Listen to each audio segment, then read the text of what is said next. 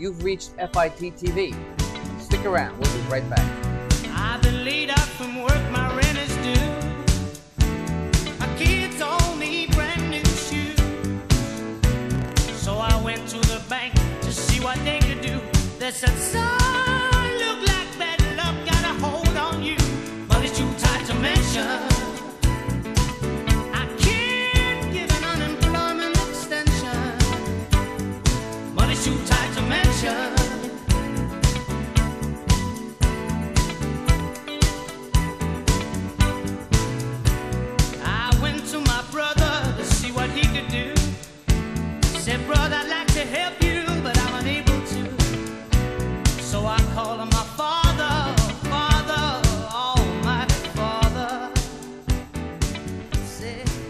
There exists an unlevel playing field for litigant child support payers in family courts.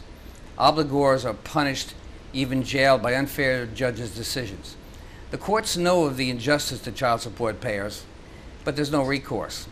The payees happily take the money and run. The payer then fights for the justice they rarely receive, and the acrimony just, just continues to go on forward. It is really an evil way to do business. It is within the courts where the self leveling exists, off the backs of the unfair decisions by judges made by child support payers, is the only way that this whole thing works.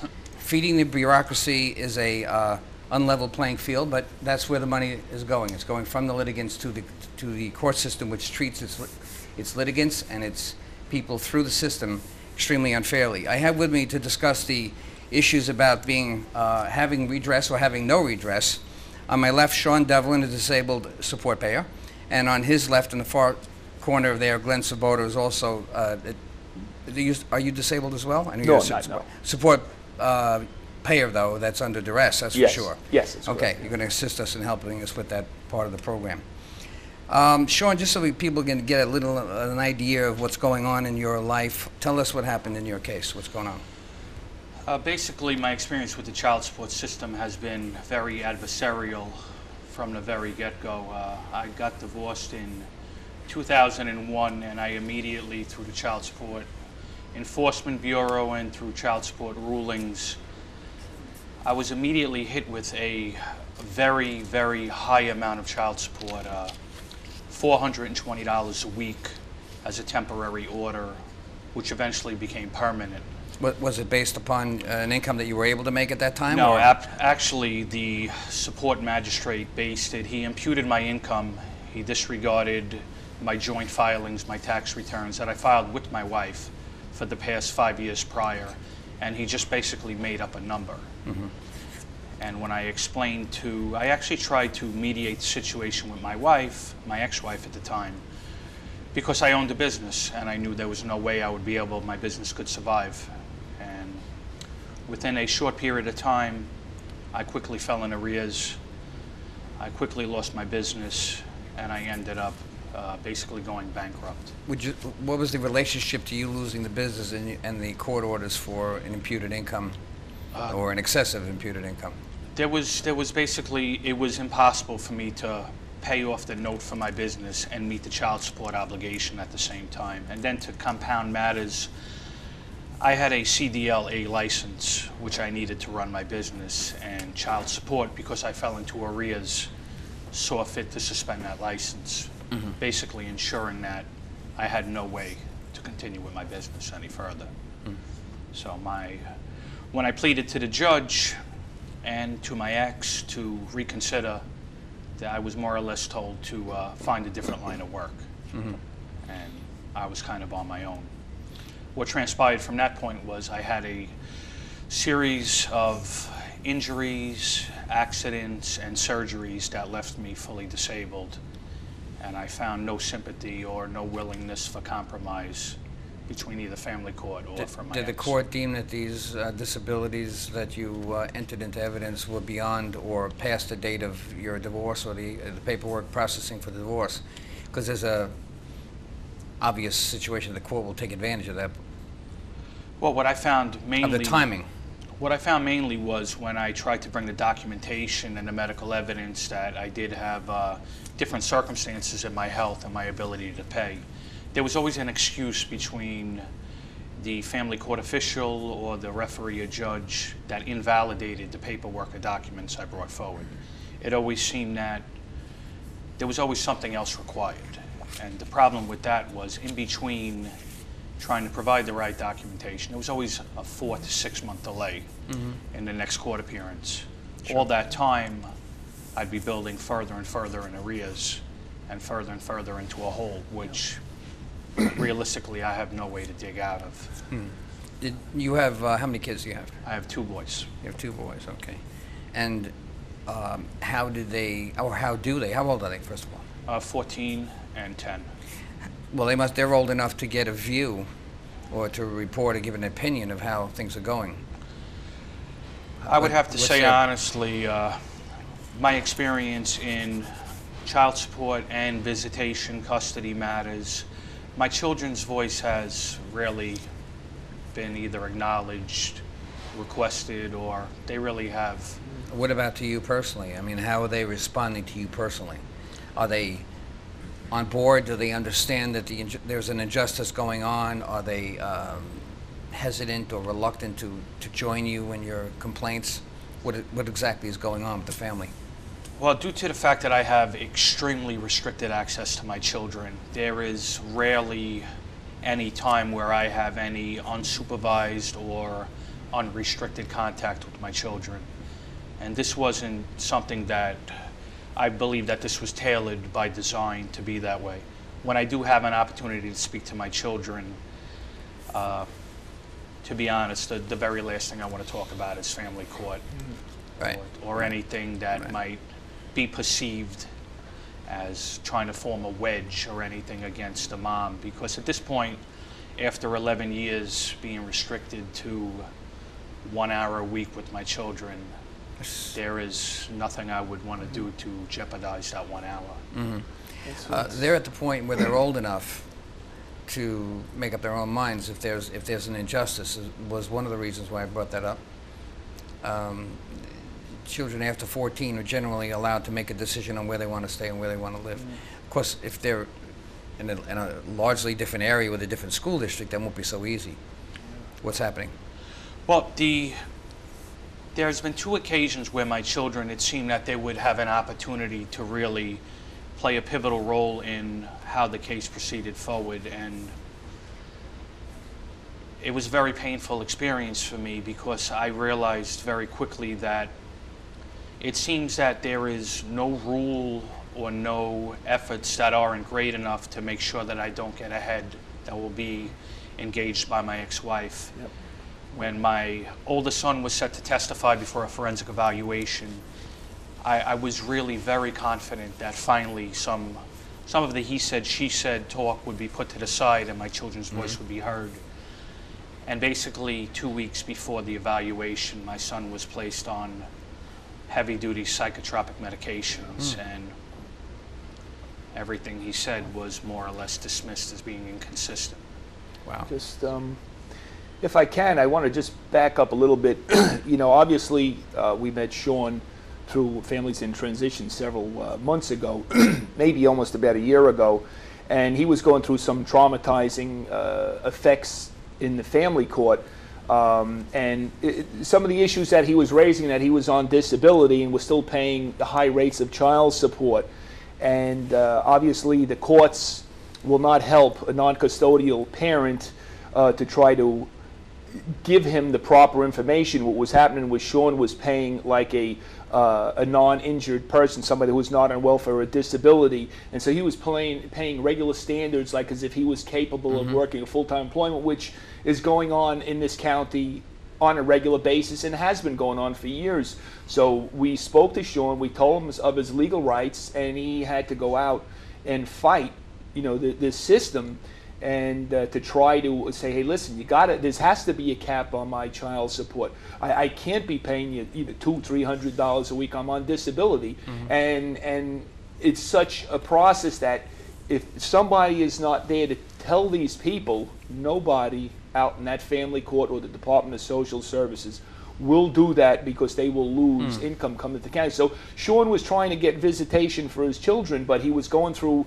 facing going to jail. They take away your driver's license. I mean, you're, you're living like Sure, a third. once, once you're entrapped, you're a victim, you're a, a victim of the state. Yes. And the state can apply whatever measure they wish to to get, get what they want out of you, which is probably what unjustly. what many you know, people that, that we know have done. You know. But there's a, a recent change, that, so the, the good news is in the future, and, and we're hoping that this program will go to the source for me to help. I have a year of somebody at the state level that might be able to help us uh, get redress for dis- disabilities or things that are unreasonable, because there's no change of circumstances going on here that, I mean, there's a tremendous amount of change of circumstances, but nothing that the state can really handle effectively. Well, I mean, uh, you know, my opinion is is that this is old news. This is something we fought about in families in transition over 10 years ago. I mean, the, the judges go to school. They, they go to the uh, up in White Plains. They go to the, the Judiciary Institute. They're taught these things. They're just they don't want to bring these things up. You have to present it like you're on a murder uh, trial. And uh, I, I mean, I said today, some of the people in family court have more paperwork in, in to try to defend themselves from child support or family court issues than some murder trials. Right. You know, it, it's uh, they already know. I believe they do know. So it's uh, we just have to be out there to watch them.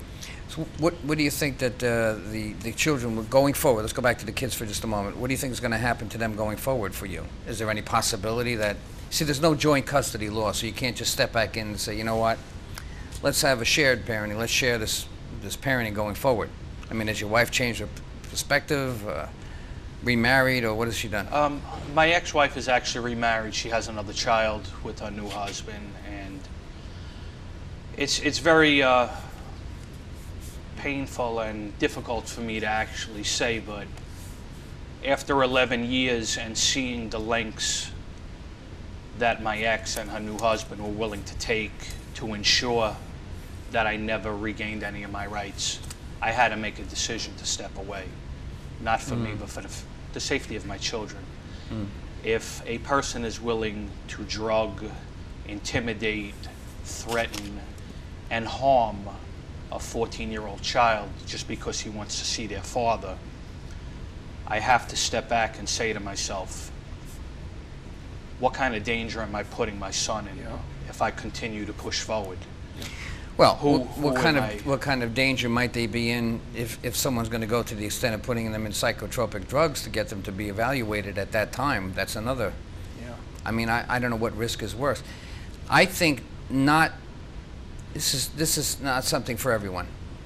Uh, you're faced with a dilemma that's life crunching. Sometimes you need to fight, and I'm not asking you to fight because sometimes you need to withdraw. I completely get where you're at. You're in that middle middle of the road. The system makes you do something, doesn't it? It's going to make you either go forward or go backwards. You can't. Nothing will ever be exactly the same.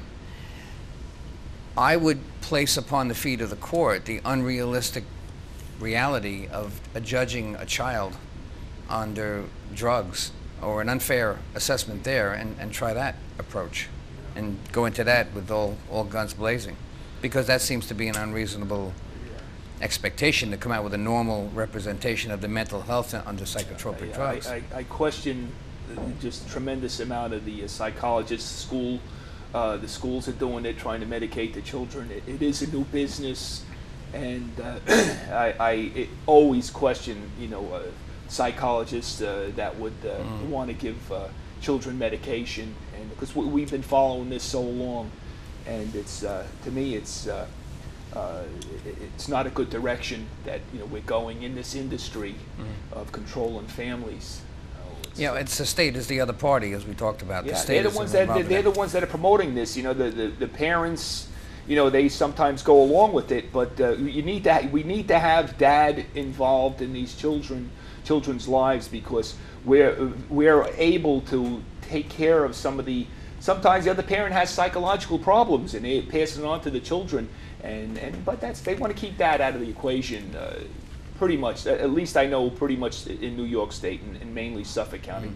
they're just not interested in visitation enforcement. Yeah, we should call it access, by the way. I don't use the visitation's a criminal That's word. correct, Yeah, yeah, We're trying to get that to change. yeah. If, Uh, if, if go I ahead. can, you know, Sure, taking please. what what you said makes sense to me, and I would I would have to agree with that statement. If you were dealing with a system that really wanted to hear logic and the truth. But my experience has been that family court will look in one direction and they will refuse, in my case anyway, to consider any other possibility, whether it's by design, convenience, I'm not sure. They want you to use the system. They want you to go to Yeah. the appeal, the lengthy and laborious process that's unrealistic. Less than five percent of the cases are overturned. They want you to go through that appeal system. You know, I- Spend more money on the, on the legal aspects of it. this state is so broke, this county is so broke. You'll hear both the Republican parties and the Democrat parties never mention cutting money from this system. Of- the of child family support court. system They'll- is a they'll cash cut the cow. schools, they'll cut the police department, they'll cut the hospitals. They'll never mention because both parties have their hands in the pocket That's right. of this family court system. That's why it's the biggest silent, kept secret. But almost everybody in your job or where you work with is going through this. Yeah, and this is why we do what we do. I mean, this is why I'm here. And, you know, what you said about Democrats, Republicans, if anyone was ever to take into account how much taxpayer money has been spent, in my case alone, in 11 sure. years, it would be mind boggling. I hear a lot of people say, well, family court really doesn't affect me. What happens over there has nothing to do with me. If people had a comprehension of how much money is being wasted, taxpayer money, for, for matters that could be mediated, resolved with common sense I- logic.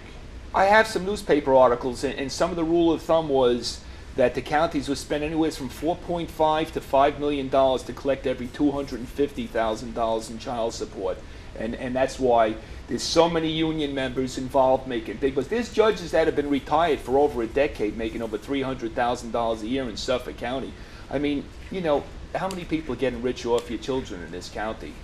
Yeah, as long as we keep falling prey to it. This is why we're hoping that if, if uh, a family would recognize that if the children were more important, uh, placing the children in a system such as the one you fell through would be a no-brainer. So the, the, the people that watch this program are getting the idea, well, you know, that would be a big mistake to have to go to a court to try to find out where my child is going to be. And that I can assure you with, Yep. and Ha- everyone. should- Have, have you seen some of the same-sex uh, marriages or unities? I, I mean, you, you have. I, I just seen a, a case where it was two same-sex women, and then the uh, uh, the one woman had uh, uh, been inseminated by one of the neighbors, and then the two the, the two same-sex women wanted to get divorced or separated, and then all of a sudden there's three people Yep. that are involved in visitation. So it's now you're having non-biological uh, parents involved in visitation. So this is turning out to be uh, probably one of the number one losses, uh, you know, for the taxpayers. Yeah, but in- in paternity is, is one issue. No, no one's really presented that issue, but the same, that's another story. We can get to that on another True. day, but the same-sex issue is another, a whole other Yeah. ball of wax. Just a mess. Does your ex have any kind of recognition to what's going on for you? Or is it a design to bury you? I mean, do you think about just her representation in this matter? My, my personal belief is because there's almost, I was speaking before the show, uh, it's almost like my ex has a cocoon around her between people, uh, whether it's friends, family, lawyers, where she's been told it's okay to do what she's doing, where it's acceptable to behave the way she's behaving. I don't think there's any consideration or even acknowledgement of what this process is doing to me, to my children, or even to her own to her own personal well-being. Because there can't be anything healthy spiritually, mentally, No, emotionally no. when you know you're causing pain to another individual. Unless there's a, and I don't understand that, to have that much vindictiveness to somebody, to create some more pain. Uh, I, I, for instance, was in a sim- similar situation. You had an imputed income issue. When, uh, after my child was 12 years old, he decided to, to live with me. It became too much of a problem for her, so he came to live with me. And it, I, re- I remarried, and my wife was very, very upset that I didn't do the same thing to her that she did to me. She, she put me through the ringer and had me go through all kinds of hoops and barrels, and I had to deplete my uh, retirement account and reduce myself to nothing also. But in that process, I decided, you know, someplace the buck has to stop somewhere. As it was a choice I made, kind of like your retraction from the system, if you think about it. It's another decision that walks walks back and says, "I'm the better man for it." Right? I mean, you have to leave yourself that vision of your children looking at you as the better man is fine. It's a perfectly reasonable thing to do. There, there is, there's nothing more that I, I would like in life than for my ex-wife to be happy, her new husband to be happy, for us all to get along. There, there's no reason for anyone to try to hurt anybody. Whether or not that makes me the better man, or I, I don't even think like that. I know for myself the emotional burden that this caused on me, and we spoke about suicides and fathers losing hope where this process took me in my life, mm-hmm. I'm, I'm very, very fortunate to be sitting here today, even able to have a conversation. So I, I don't want to sell my soul to try Yeah, to try to win or prove anybody right. That was a choice you're making, and it's a, That was a the choice reasonable choice to make. It's a, it's a, it's, it's a sound way to decide. You know, just in your situation, how long have you been dealing with? I'm going to show you an example in a second. How long have you been dealing with your court, family court issues? Um, I, well, probably about but- 15 years. My 15 years, and you're you're in it for 10. 11 years. 11 years. I was in it for about eight or 10 years myself.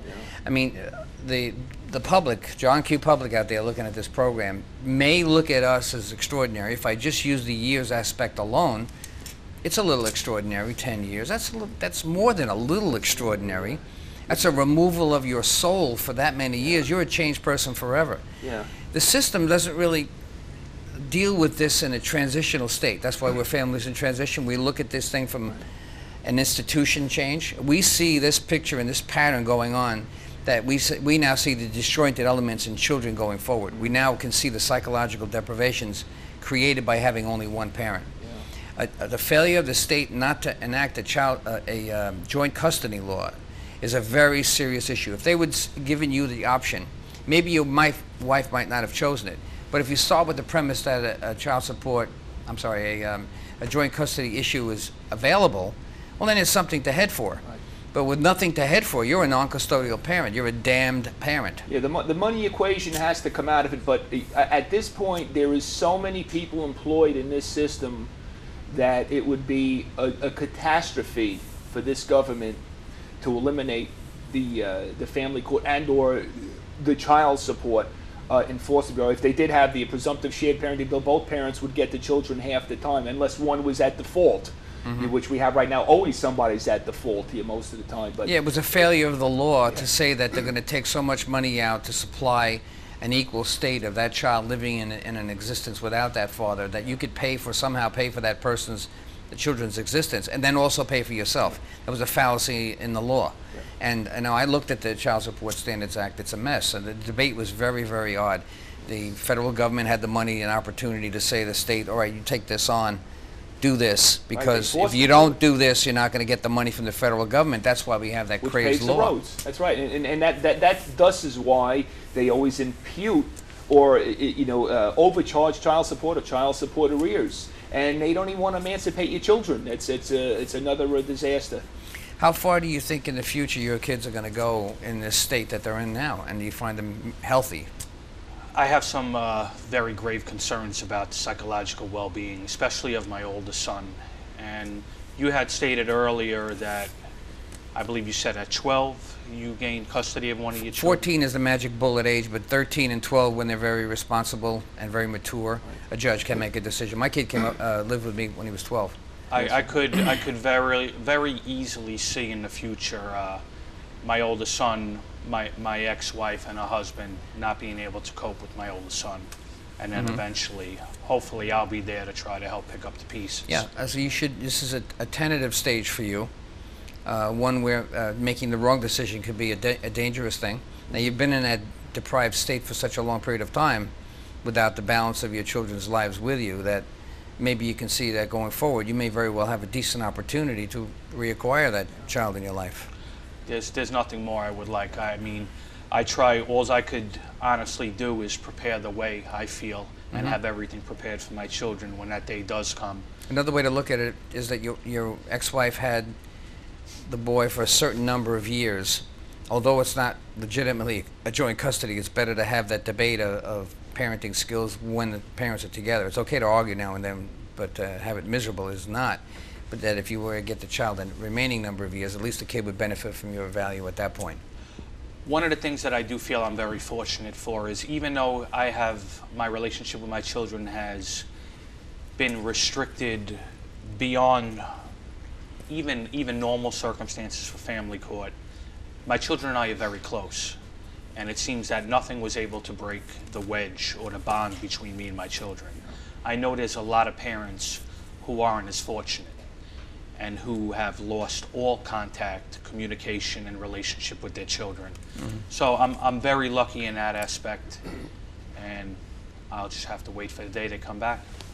Yeah, you may have to. Uh, in this last couple of minutes, uh,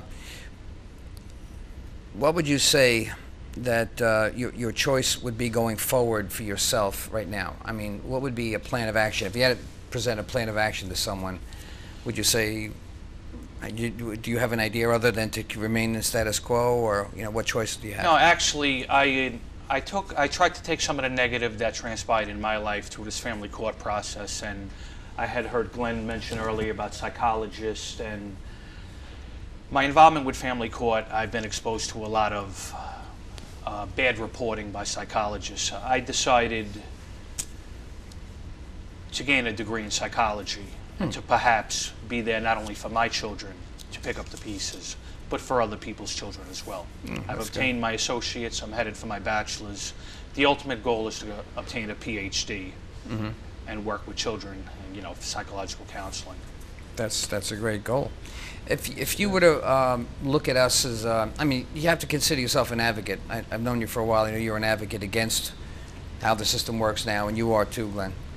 Um, what would you say an advocate can do? Is it a good idea to be seeking an advocate? That you know, you don't forget you're, you're talking, telling your story to people out there who never never met you and don't know anything about you. So they're hearing your story for the first time. But you want to, in case they go for a divorce, what would you say? Is a good idea? Is it a good idea to reach an advocate, not reach an advocate, call an attorney, not a call? What would you do? I think the most important thing, and the most important thing that I wish had happened with my experience was that I had met someone who's been involved in this before the whole emotional collapse took place with me. The this process has led me at times to wonder whether or not I was I, there was actually something wrong with me. Maybe I was losing my mind. Yeah. Because you can't believe what's transpiring. You know, I, I kept trying to look at this process from a logical standpoint or to try to understand how it could be happening. And every time I tried to dig further and try to understand it, I just became more confused. So if somebody was just entering the process, hmm. I would strongly encourage them to reach to somebody who's been through this process and to let them know listen, things could get very dicey. They don't always work the way they should. You need to be prepared for this. And the one, this could happen. one bit of advice I would collect as we're ending the program here is that if, if you went outside the system to seek an advocate, as you're suggesting, would be one thing. The second thing right behind that, or running alongside it, would to go through the mediation process because it's such an inexpensive process. You get to settle your issues with your ex before you can get to litigate. And then even if you get to litigate, you have something started that stops the litigation process from being way too expensive. Th- Absolutely. Thank you very much, Sean Del- Delevan and Glenn Svoboda. I appreciate that. This is uh, an excellent program, and I hope that we can pass this information along to the state and get some of these laws changed. Societal and political trends are rapidly breaking down the family that once was the cornerstone of our great American culture. At FIT, we know you cannot get this information on your own, so we'll bring it to your TV every week. We always invite all opposing views. My name is Chris DiMaggio. Thank you very much for watching FITTV, and we'll see you again next week.